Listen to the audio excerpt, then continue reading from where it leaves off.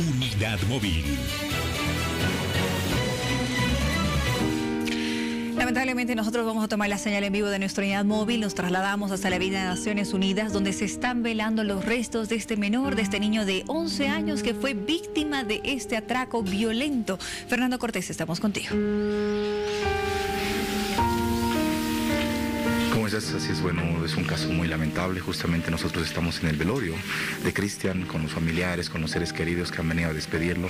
Como tú lo puedes ver, nosotros nos encontramos justamente al lado de lo que es el ataúd con una de las primas. ¿Cómo están? Muy buenas noches. Primeramente, nuestros sentidos pesan. Muchas gracias. Estamos todavía asimilando la noticia, la triste noticia de que mi primo ya no está más con nosotros. Cuéntanos un poquito cómo era Cristian, cómo lo recuerdan ustedes. Ese momento recordábamos muchas cosas de él, su profesor estaba acá, sus compañeros. Algo que resalto de él es que era muy colaborador, tenía la sonrisa siempre oculta, no, se la daba casi a muchas personas. Creo que yo me considero su confidente, confiaba mucho en mí. Eso puedo llevarme de él y en mis recuerdos nada más.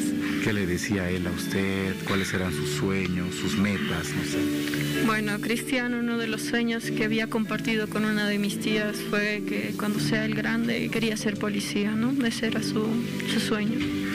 Ahora que piden ustedes a las autoridades, bueno, ya se aprendió a dos personas, ¿no? Bueno, yo sé que la justicia va a hacer las cosas como se tienen que hacer.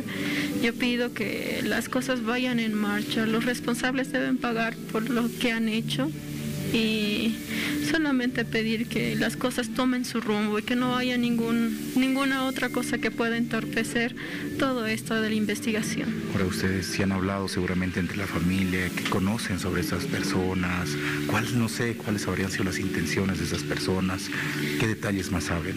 Claro, a la declaración de mi tía que también la emitió por redes sociales, la que se filtró, es realmente que ellos, eh, bueno, que esta persona iba con la intención de matarla, robar todas sus pertenencias y que nadie hubiera sabido nada, pero él no contaba que mi tía se iba a salvar y que lamentablemente estaba acompañada con mi primo.